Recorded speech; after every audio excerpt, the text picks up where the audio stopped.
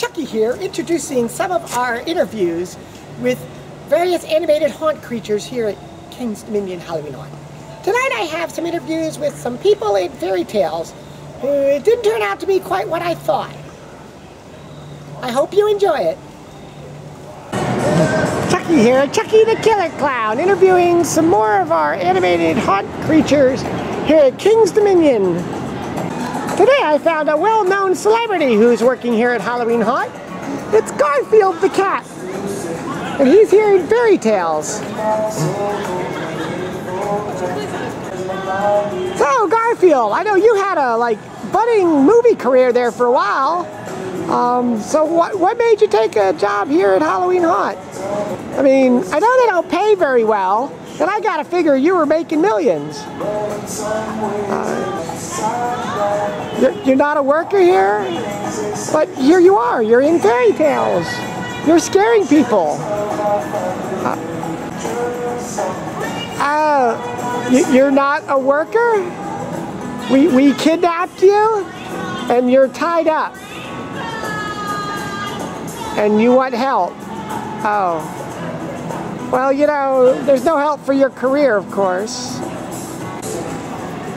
So are you saying everybody in this little maze is like kidnapped? Oh, I feel bad for you all. Hello. Do we pay you or did we like capture you and make you work for free? Okay. No, I can't help you.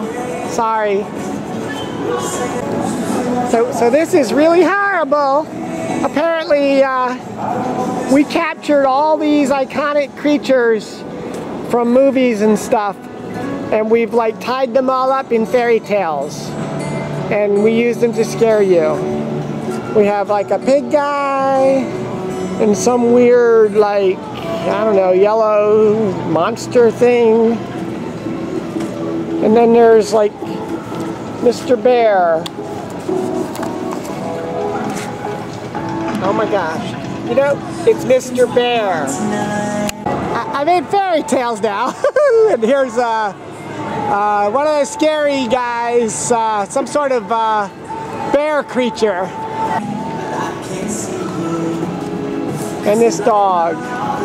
So, so we're gonna we're gonna try to rescue you, okay? Okay, we're making a big plan. So we're all gonna come at five o'clock. Um, I'm gonna bring down like four or five other clowns, and we're going to rescue you all, okay? What? You don't need rescuing? You're the prison guard? And I just told you our plot to save all the creatures? And now you're going to eat me. Uh, no, I don't want to be eaten. Uh, I don't have a choice. No, you can't eat me. No. Stay away.